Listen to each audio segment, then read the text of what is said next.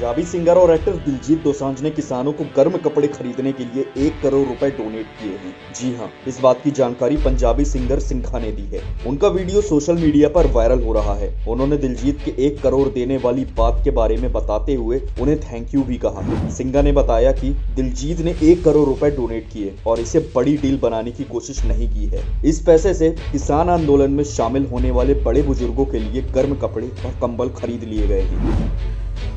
ਆ ਦਲਜੀਤ ਵੀਰੇ। ਫਾਰਮ ਵਾਸਤੇ, ਉਹਨਾਂ ਦੇ ਗਰਮ ਕੱਪੜਿਆਂ ਵਾਸਤੇ 1 ਕਰੋੜ ਰੁਪਈਆ ਦਿੱਤਾ ਵੀਰੇ। ਤੇ ਕਿਸੇ ਨੂੰ ਪਤਾ ਨਹੀਂ ਹੈਗਾ, ਪੋਸਟ ਨਹੀਂ ਪਾਈ ਵੀਰੇ ਨੇ। ਫਿਰ ਦੱਸਿਆ ਨਹੀਂ ਨਹੀਂ ਤਾਂ ਅੱਜ ਕੱਲ ਕਿਸੇ ਨੇ 10 ਰੁਪਈਏ ਦੇਣੇ ਹੁੰਦੇ ਸਾਲਾ।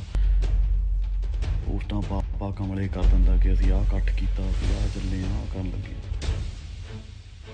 ਲਵ ਯੂ ਵੀਰੇ, ਜਿੱਤ ਲਿਆ ਤੂੰ।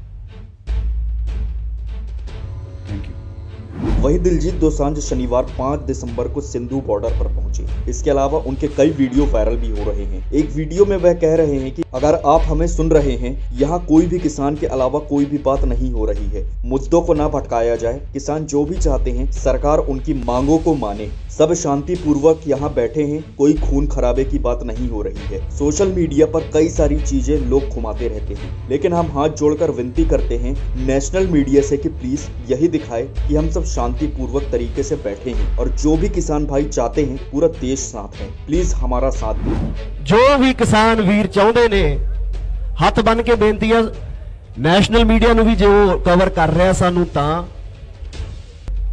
हिंदी में भी बोल रहा हूँ, सर। फिर बाद में गूगल ना करना पड़े।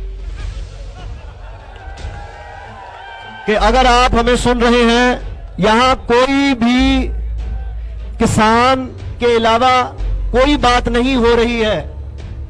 मुद्दों को ना भटकाया जाए। किसान जो भी चाहते हैं, सरकार उनकी मांगों को मांगे।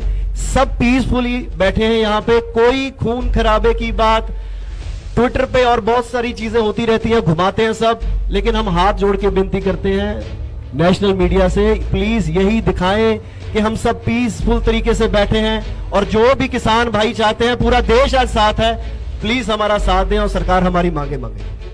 धन्यवाद।